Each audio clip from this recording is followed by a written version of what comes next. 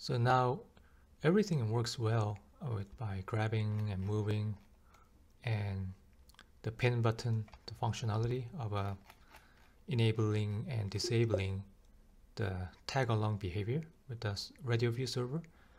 But uh, one thing is missing, um, which is uh, the visual and audio feedback on this grab and move. Um, so uh, visual and audio feedback are very important in holographic object. Um, so here, one thing I want to do is the highlighting the material of the backplate so that uh, to indicate that is being grabbed and being manipulated. So in this backplate, uh, the quad, um, I can I'd like to use this manipulation started and ended events to change uh, the material.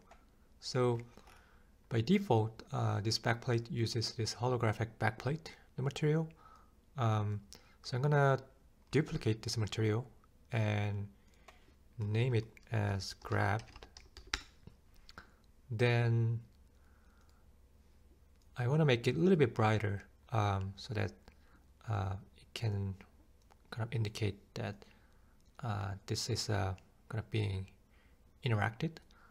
Um,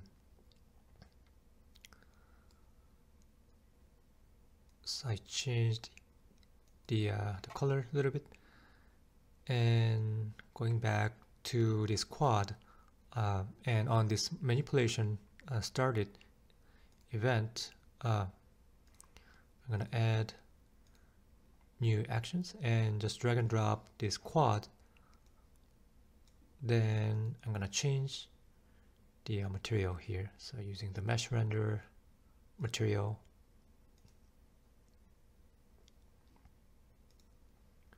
Then can drag and drop this grabbed holographic backplate grabbed material on this manipulation started. And of course when I release the backplate uh, when I release my hand then I want to restore the material back to this original holographic backplate color. So yeah if I run it so when I grab with my hand as you can see it is highlighted with the brighter backplate then when I release it restores the uh, original material. So grab release grab release. So it's kind of nice way to uh, visualize uh, give visual feedback uh, on this manipulation events. And of course, one additional important uh, element is audio feedback. So uh, I just added this audio source to the quad and I'm gonna add one additional uh, actions to this manipulation started and ended event. And again drag and drop the quad and select the audio source dot play one shot to play audio clips on manipulation started and ended.